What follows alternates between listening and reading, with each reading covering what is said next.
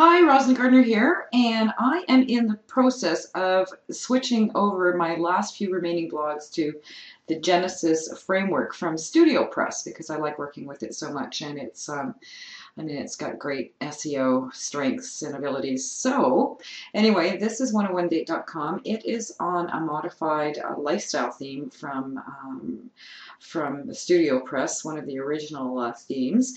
And uh, but this, what I want to do this time is rather than have my site look ugly for um, a day or however long it would take me to, uh, you know, like get down to, to work and actually just switch it over. I thought that it would be good to see whether I could um, do it in the background and uh, not not have anybody see the ugliness as it uh, as it changes over.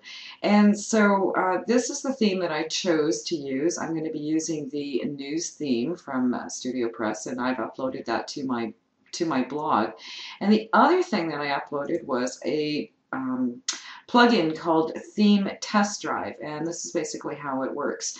Um, here it says enter the URL to the theme zip file and click install theme. Well, I've already installed the theme on my blog, so I don't have to do that.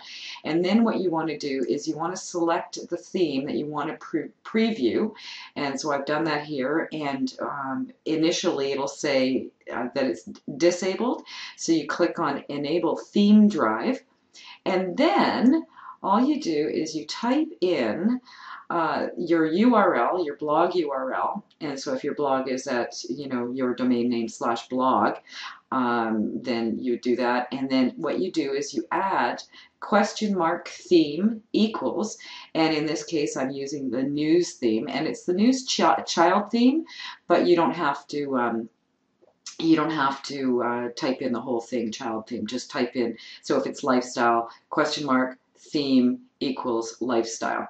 And so this is what this is what comes up. And so what's really cool about this, if I go to 101date.com now, right, and I click enter, you'll see that it comes back to the same page, right? So, um, but I, I'm the only one who can see that, and I'll show you how that works. Basically, I'll go back to my um, I'll go back to my WordPress administration panel and log out and then I will refresh or reload this page to 101date.com. And so now that I'm logged out, I'm back to the uh, I'm back to the home page that is still existing or the uh, the theme that is still in use on the site. So all I have to do is log back in and go back again to theme or question mark theme equals news